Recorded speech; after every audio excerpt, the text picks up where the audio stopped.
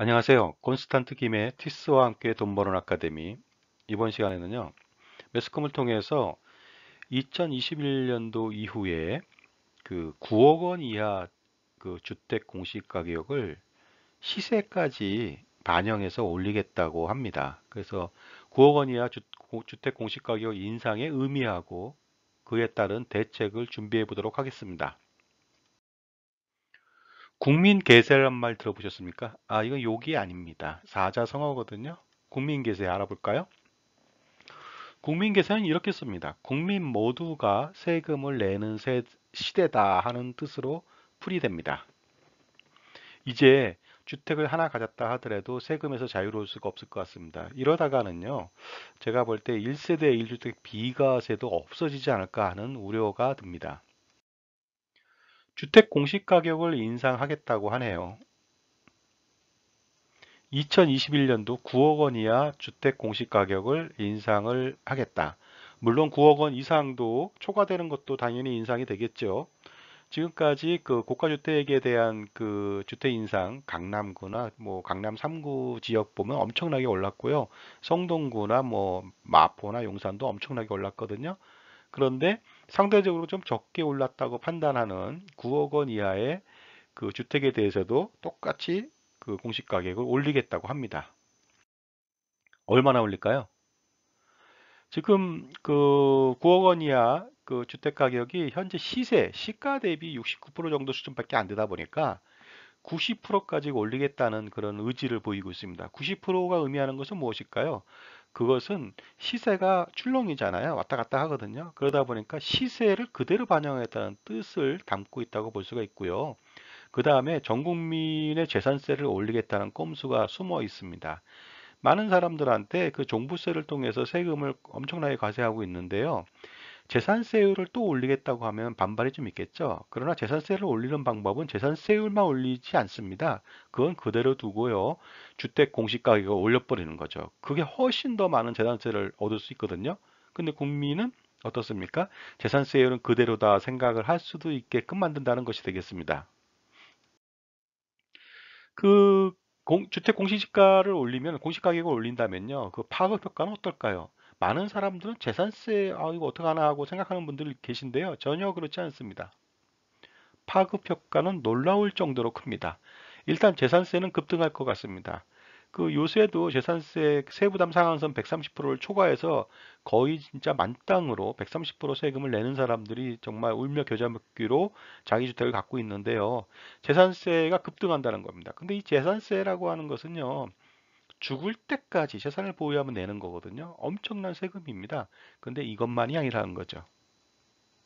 두 번째는요, 종부세가 또 도사리고 있다는 거죠. 종합부동산세 마찬가지로 급등이 됩니다. 근데 종합부동산세 또 마찬가지로 어떻습니까? 죽을 때까지 세금을 낸다는 겁니다. 제 그 부동산을 갖고 주택을 갖고 있다면요. 이 두 가지는 정말로 엄청난 겁니다. 그런데요. 나중에 증여를 해도요. 주택 공시 가격이 오르기 때문에 증여세 부담이 엄청나다는 것입니다. 증여를 안 한다고요? 아, 그러면 나중에 상속세 급등으로 상속세 부담에서 헤어날 수가 없을 것 같습니다. 이건희 회장님만 뭐 세금을 상속세로 10조 내는 게 뭐 엄청난 그 이슈가 요새 되고 있는데요. 그것만이 아니고요. 가지고 있는 재산이 주택 두 개인데 세금을 만약에 한 40억 낸다고 생각해 보세요. 이거 진짜 엄청난 거거든요. 바로 공시 그 주택 공시 가격을 올리는 파급 효과는 마치 나비 효과랑 같습니다. 재산세만 살짝 올리는 것 같죠? 그렇지 않습니다. 재산세, 종부세, 증여세, 상속세를 지속적으로 올리고 있다는 것을 반드시 명심하셔야 된다는 것입니다. 재산세율 안 볼 수가 없겠죠. 재산세율은 상대적으로 좀 낮습니다. 6천만 원 이하일 때 0.1%, 1억 5천만 원 이하일 때 0.15%, 3억 원 이하일 때 0.25%, 그 다음에 3억 원 초과할 때 0.4%인데요. 이 과세 표준도 그 공시 가격의 60%만 그 과표로 잡고 있거든요. 그러다 보니까 재산세율에 대한 부담이 크지는 않습니다. 물론 많은 주택을 가졌다면 여기서 재산세 내고서 나중에 종부세를 또 내야 된다는 점이 있겠죠. 6억 원 이하자에 대해서는 또 그 참새 눈물만큼 0.05% 정도 인하할 계획을 가지고 있다 이렇게 말하면서 그 서민들을 달래고 있는데요. 전혀 그렇지 않습니다. 0.05%는 큰 의미도 없고요. 중요한 것은 공시 가격의 급등에 따른 세부담이 네 가지 형태로 나타난다는 것이 더 중요한 것이 되겠습니다. 세부담 상한선도 뭐 공시가격 6억 원 초과할 땐 전년도 대비 130%, 30%더 초과하는 초과할 경우 130%만 낸다는 것인데요. 이 부분에 대해서도 상당히 좀 고민이 고민스럽습니다. 왜냐하면요 재산세 과표 기준을 그 공시 가격, 그 공동주택이나 단독주택 공시 가격이 있거든요. 그 가격의 60%로 현재 설정되어 있는데 60%를 나중에 100%로 올린다면 어떡할까요? 지금 종부세는 지금 100%로 올릴 예정이죠. 그 확정됐습니다. 그리고 세부담 상한액도요. 130%가 아니라 200%, 300%면 어떨까요? 벌써 종부세는 300%까지 올렸죠. 이 두 가지가 올라간다면 이거 소위 말해서 재산세를 올리는 방법으로 재산세율은 건들지 않고 공시가격을 올렸다가 그 다음에 나중에 세율도 좀 올렸다가 그 다음에 과표 기준도 100%로 올렸다가 세부담 상한액도 200%, 300% 점진적으로 올리겠다는 뜻이 도살해 있다고 밖에 볼 수가 없습니다. 솔루션 있을까요? 있습니다. 종부세, 증여세, 상속세 모두를 줄이기 위해서는요. 사전 증여 전략이 필요합니다.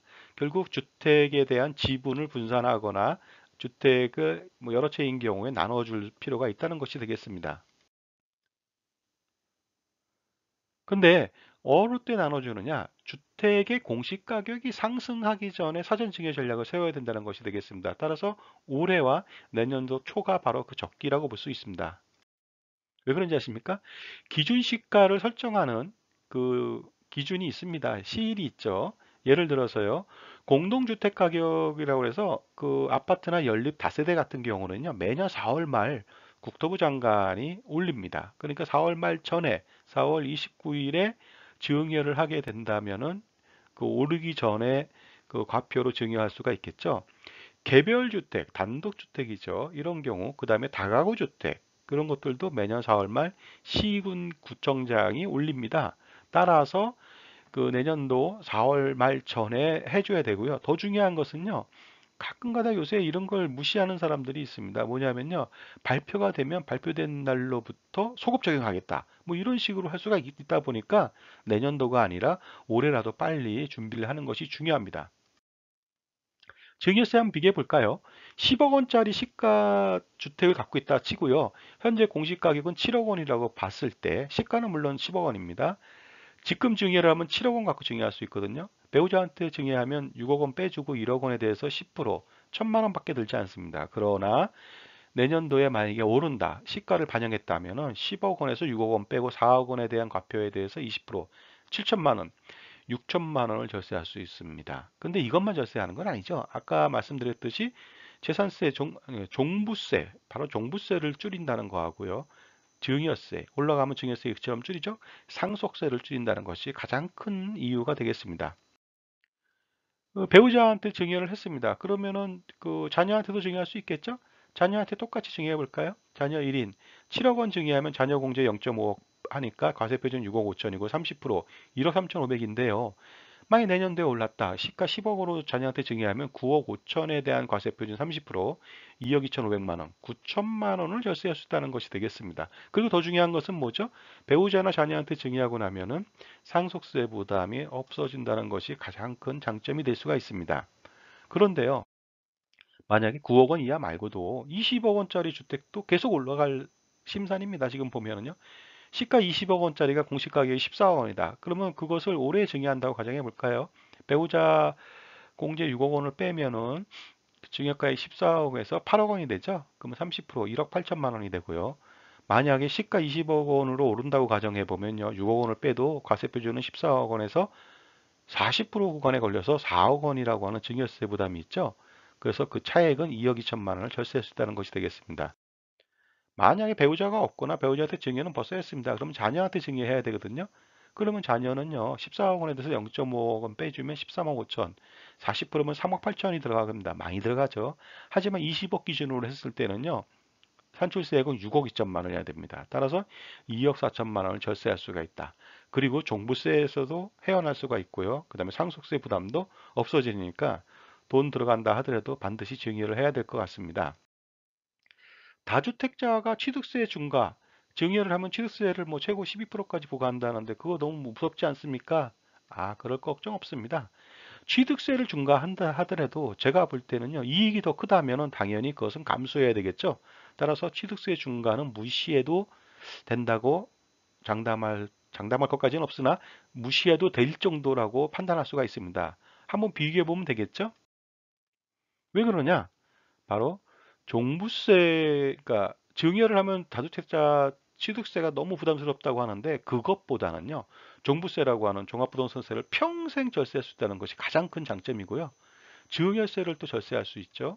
그 다음에 돌아가시면 언제 돌아가실지 모르잖아요. 10년, 20년 뒤에 돌아가시는데 그동안 엄청나게 상승하겠죠. 주택가격은. 그러면 상속세도 절세, 절세할 수 있다는 것이 되겠습니다. 따라서 이 세 가지만 보더라도 그까지 취득세, 증여세 부담, 그거 아무것도 아니라는 것이 되겠습니다.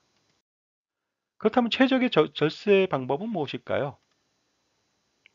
다각적으로 종합부동산세를 어떻게 절세할 수 있을까? 증여세를 어떻게 절세할 수 있을까? 상속세를 또한 어떻게 절세할 수 있을까에 대한 심도 깊은 어떤 그 제안이나 연구가 좀 필요하다는 것이 되겠습니다. 따라서 누구에게 어떤 재산을 어떤 순위에 맞춰서 얼마씩을 증여할 것인가 굉장히 중요하거든요. 잘못 증여를 한다면 돌이킬 수가 없잖아요. 따라서 잘못 증여했을 때 똑같이 증여를 해도 잘못 증여하게 된다면 세금을 몇억 원을 더 손실 보는 경우도 있거든요.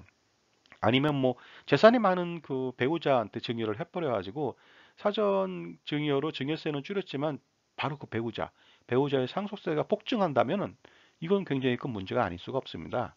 따라서 효과적인 절세 전략들을 반드시 전문가를 통해서 상담하시고 진행하시는 것이 좋을 것 같습니다. 자, 지금까지 그 단독주택이나 공동주택 가격의 인상에 대해서 공시가격 인상에 대해서 알아봤고요. 그 대책에 대해서 말씀 나눴습니다. 감사합니다.